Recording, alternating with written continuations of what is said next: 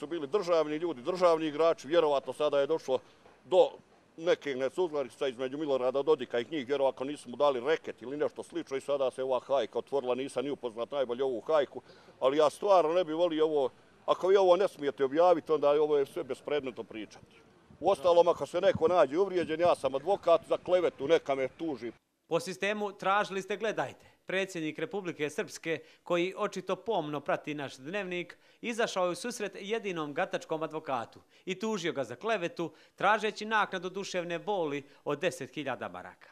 Ja sam progovorio ko onaj Kočićev jazavac prasudom ili ko onaj Kmet Siman, Andrićev. Ranije je Zoru na pola sata je javio i obično ti koji ranije Zoru najavljuju, oni moraju biti sankcionisani. Blago našo ime predsjedniku kad ima dobre ulizice, trabante i ostale koji, koji se utrkuju, ko će više da mu donese informacija. Nažalost, tako su donosili informacije Slobodanu Miloševiću, Gorica Gajević i ostali pomalo ga obmanjivali, lagali, pa se, vidi, pa se zna kako je to sve na kraju završeno. Ako predsjednik stvarno nema nikakvog drugoga posla nego da gleda dnevnike i da se gonja sa narodom, jer svaka vlast treba da čuje glas naroda. Mnogi sumljaju u efikasnost naših sudova, ali i ovaj primjer govori da ponekad i naše pravedne sudije znaju biti munjevite i predmete rešavati za samo nekoliko dana. Napisana 17.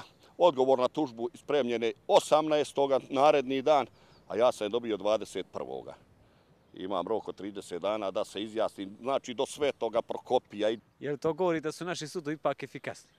Pa ako su svi efikasni sudovi ko ovaj osnovni Banja Lučki, ja, ja takvu praksu nemam. Todorović će sporiti mjesnu nadležnost i tražiti da mu se umjesto u Banja Luci sudi u Hercegovini, ali imajući u vidu brojne sporne presude čestitih i pravednih trebinskih sudija, vjerovatno bi mu bilo bolje da se zahtjev ne uvaži. Zbog nacionalizma i verbalnog delikta, Todorović se kao mladom studentu u Trebinju sudlo 83. godine, ali uprkos političkim priticima oslobođen je optužbi. Možda će i ovaj spor pokazati da li je od tada naše pravosuđe napredovalo ili nazadovalo.